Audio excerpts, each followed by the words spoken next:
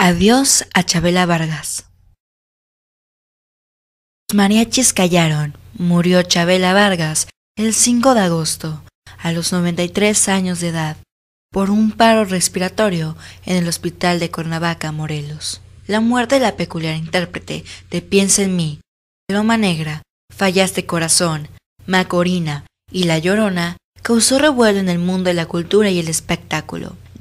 Culta y el pueblo de México le rindieron un homenaje en Bellas Artes y Garibaldi, porque quiso despedirse de su gente y sus mariachis. Isabela Vargas Lizano, privilegiada por su peculiar y áspera textura vocal, nació en Costa Rica el 17 de abril de 1919, pero llegó a México a los 15 años de edad y se nacionalizó mexicana. Tuvo amistad con personajes de la cultura local y extranjera, así como las figuras musicales más importantes de su época, como Picasso, Carlos Fuentes, Diego Rivera, Diego Rivera y Carlos Monsiváis. Nunca escondió sus amores con otras mujeres como Frida Kahlo. El cuerpo de la cantante Chabela Vargas salió del hospital con dirección hacia la funeraria, ubicada en Félix Cuevas, en la Ciudad de México, donde solamente prepararán su cuerpo, ya que fue incinerada antes de los homenajes que le rindieron en Conaculta y el pueblo de México.